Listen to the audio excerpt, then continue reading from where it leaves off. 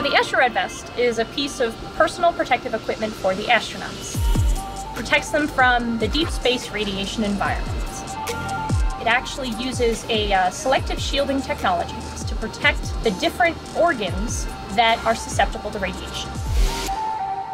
STEMRAD, together with Lockheed Martin, has been developing AstroRad for several years now, but we have yet to test it in microgravity. ISS provides the unique opportunity to evaluate the functionality of the vest in microgravity. So for us, it's really priceless to have this opportunity we want to make sure is that the vest is comfortable for the crew to wear because we want them to be able to wear it and be able to do the different tasks that they need in the deep space environment.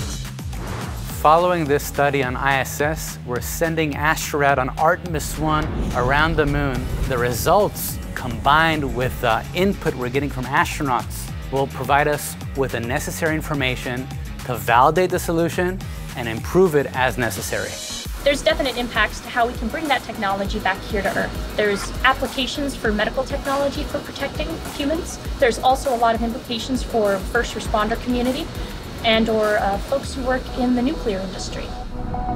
It's really exciting and I'm really proud to be able to work with a great organization and a great team whose goal is to really be able to protect humans as we're exploring the deep space environment and still be able to bring that back home where we can protect the people out there as well as our residents of our beautiful planet.